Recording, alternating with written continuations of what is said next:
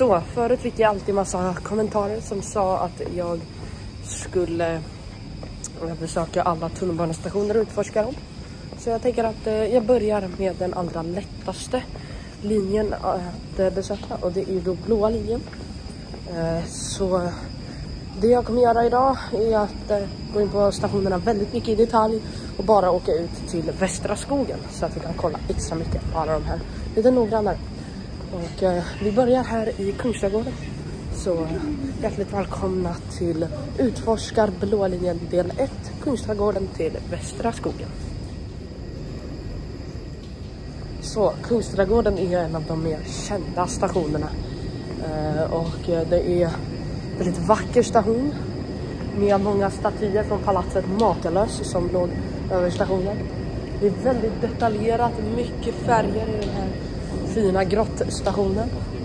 De har också vatten som rinner ner där och de har ett väldigt fint mönstrat eh, golv. Man noterar att vattnet rinner faktiskt ner på väggarna om man känner det här. Så är det faktiskt lite snuskigt vatten där som rinner ner. Och här finns det också en spindel. Tänker många, vad är det där?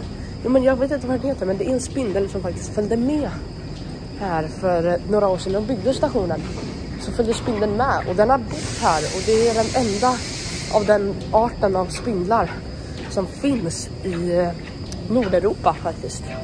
Så det är lite ovanligt. De har ju också där borta Ja, jag tror inte vi kommer hinna dit men vi kan väl försöka, vi har två minuter. Så ska vi också se där vi har eh, väldigt stora, eh, en väldigt stor gång över och så är det en massa statyer och saker nedanför. Så det går vi att ta en titt på nu.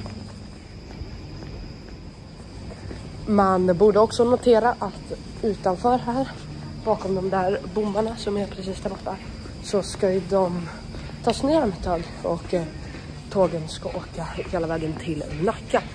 Och Kungsträdgårdens station är ju redan väldigt djup och sen när de åker till Sofia ska det bli en av världens djupaste stationer. Det ska bli riktigt kul då, när den öppnar om 150 år. Men eh, här har vi det jag pratade om. Här har vi den här gången över och så har vi massa gamla statyer och saker. En gammal eh, eh gatulykta rinnande vatten här.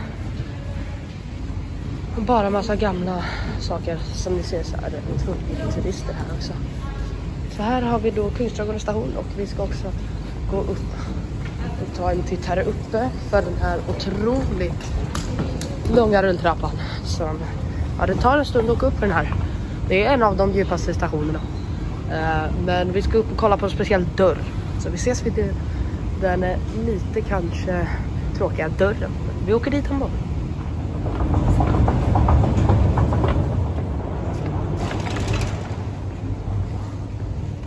Så här har vi den.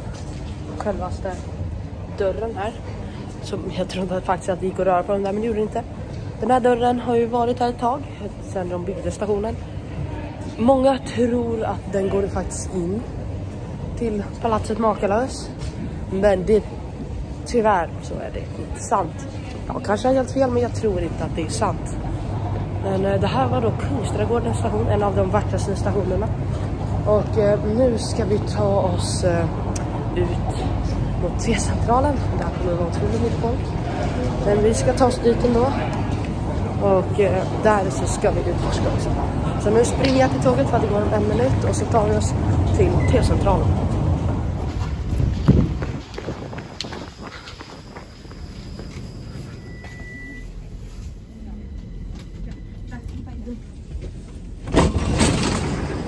Så, vi är framme vid T-centralen.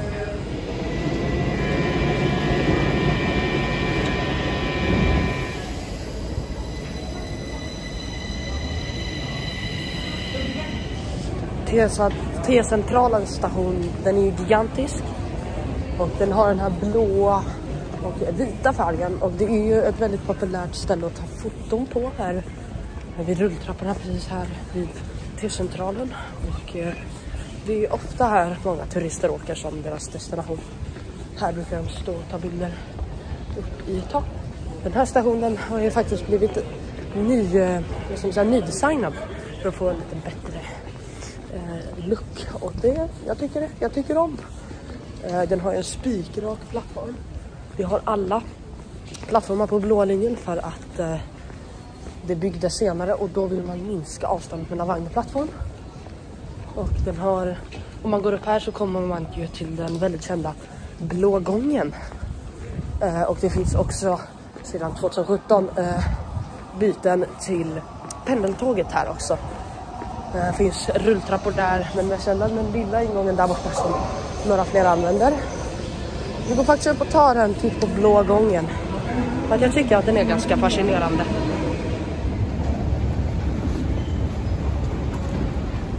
Så här vid blå gången så är det alltid eh, stressiga pendlare som springer för att hinna med tåget.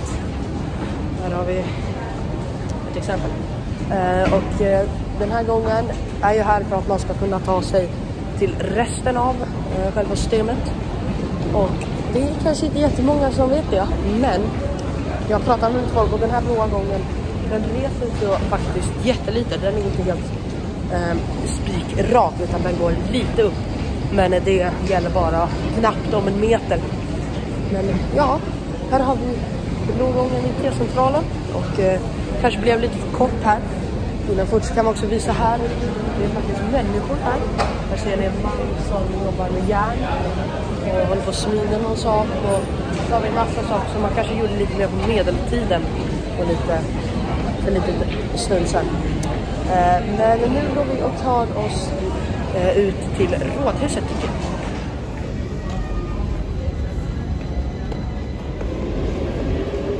Här har vi de här turisterna igen som tar bilder. Mm. Alltid kul att ha turister här. Eh, verkar vara från Asien, men det kanske bara är fördomar. Ja, tre minuter till nästa gång. Vi missade det precis. Men det är rusning så vi kommer rätt om ett tag. Då tar vi oss till Rådhuset.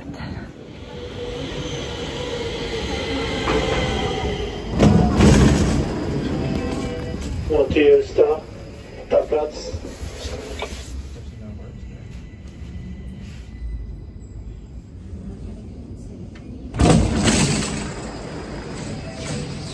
Efter den där korta resan har vi kommit fram till Rådhuset.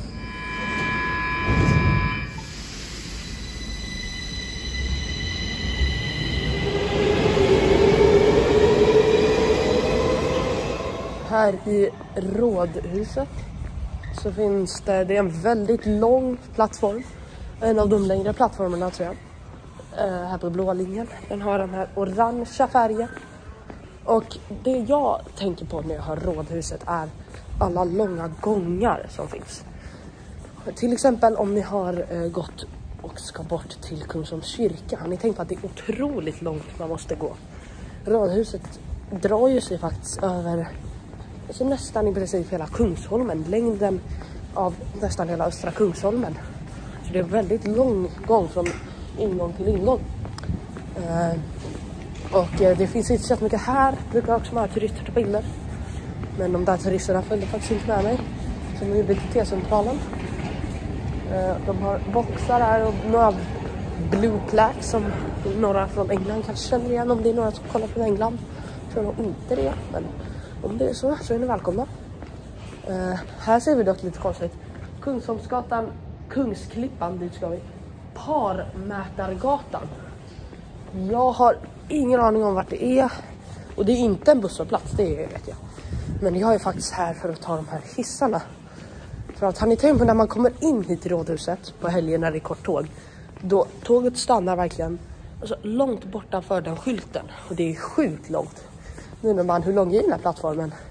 Jag kan visa att eh, den är så här lång.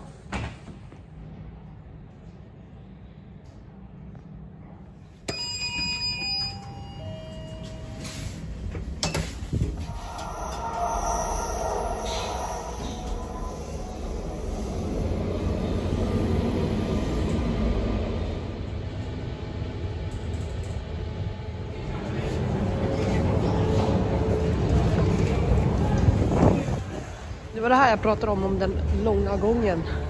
Där är det ganska långt och där också är det ganska långt. Men vi tar oss upp här och tar oss till Kungsklippan. Kliver in här, ganska stora hissar men det är nog det behövs nog och vi går upp och ser om det finns något intressant på Kungsklippan. Alltså, ja. Eller nej, nej. Jag tror faktiskt inte det. Det här var inte jätteintressant men det var ganska fin vy över Rådhuset. Jag tror att det är Rådhuset. Men ja, här, här kan man få en bra thumbnail tror jag. Vi kör här. Uh, eh, här var det då Kungsklippan. Det var ju ganska ohändelserikt. Men ja, nu uh, så går vi ner efter jag tagit en thumbnail. Och så tar vi oss till Fridhemsplan.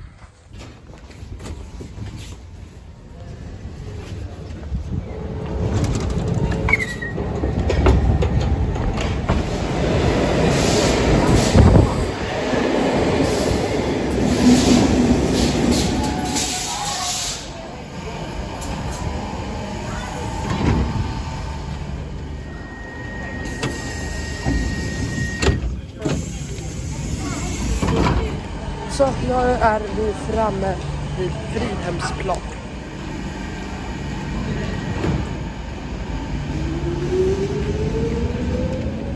Så här vid Fridhemsplan så har vi två utgångar. En som leder upp till Sankt Görans kyrka och det här som är den lite mer stora som leder upp till gröna linjen Fridhemsplan och Västermalmsstället. Så har man satt en båt här. Jag är ganska säker på att den här stationen har något havstema. De har ett ankare, en kompass och en båt här. Och så ligger lite ja, sopor där också. Uh, och vi fortsätter bort hit. Här ska vi säga någon plattform också. Och så har de också lite, det är en liten brun, en brun det är som att de har skjutit ut sten och så bara splashat på lite färg. Vilket tycks se fint ut faktiskt. Har de det här också. Intressanta målningar. Fina vet jag inte men herregud vad mycket folk det är idag. Kul att se folk tillbaka eh, ner på tunnelbanan. Förr var det lite det inte var så många som åkte. Här också massa sjösaker. Men ja, det är inte så mycket mer att säga. Jag har inte tid. Jag börjar rinna ut om tid nu så jag har inte riktigt tid med att eh, gå ut här. Men eh, det här är friluftsplan.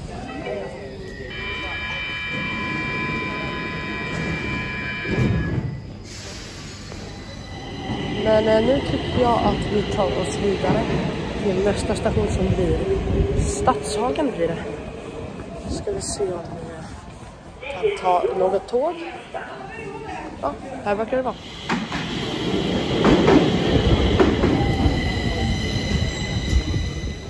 Se upp för dörrarna. Dörrarna stängs.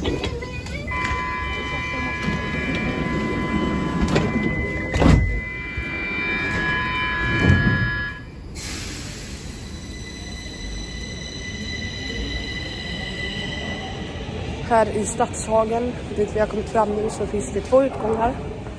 Eller? Det gör det faktiskt inte. Eh, om man kollar på den här skylten ser man att den där sidan är blank. Och det är på grund av att de spränger här borta vid Stadshagen. Då har, har det gått lite fel så då behövde de stänga av utgången. Och den har varit avstängd i nästan ett år nu. Tror jag, jag är inte helt säker. Men den har varit avstängd ett långt tag, vilket många det är lite jobbigt, de bygger ju jätte, jättemycket här.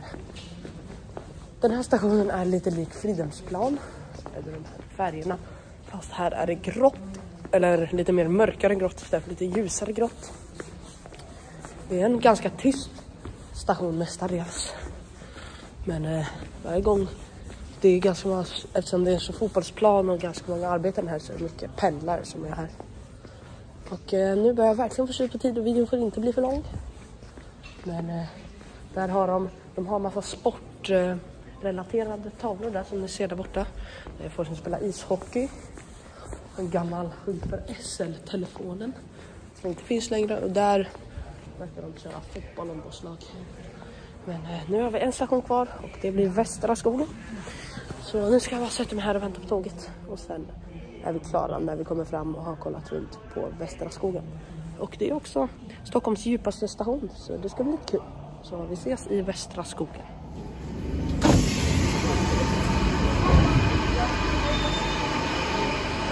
Så, nu har vi kommit fram hit till Västra skogen.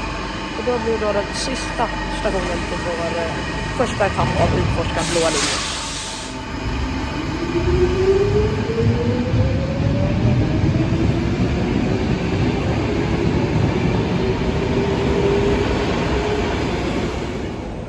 Så Västra skogen är ju då den djupaste av alla stationer i hela Stockholm. Tror jag. Eller den har den längsta rulltrappan i alla fall, det är det vi vet. Och den har faktiskt tre plattformar. En för eh, Akalla Hjulsta och två för T-centralen Kungsträdgården. Och det tror jag är för att om det har hänt något fel så kan båda tågen vända här eh, i riktningarna. Så tåg, om det är något problem vid Fridhemsplan så kan tågen från Hjulsta och Akalla vända här. Och så är det också bra för, ja, det är bara bra. Här har vi också en övergiven hiss som inte är i användning någon mer. Och nu när vi är så här långt fram så är, finns det inget sätt att komma upp på här. Eller det gör det. Det gör det faktiskt. Med hjälp av den här hissen så har vi, här är ganska uppe, Biljetthall, Akalla, Hjulsta och Kungsträdgården. Jag vill upp till Akalla Hjulsta så vi åker upp dit. Där har vi också de gamla skyltarna som fanns på SM förut. Kommer ni ihåg dem? Här har vi hörselslinga aktiveras vid uppkopplat nödsamtal. Den har gått sönder för länge sedan. Men eh, om några sekunder så borde vi vara uppe vid toppen av Västra skogen. Och det är ju så långt för att det är liksom på ett berg. Och nu när man kommer upp hit så är man längst upp på berget. Japp, nu är vi framme. Noll, Vi går entré, ut och tar- biljetthall. Vi går ut och tar en titt.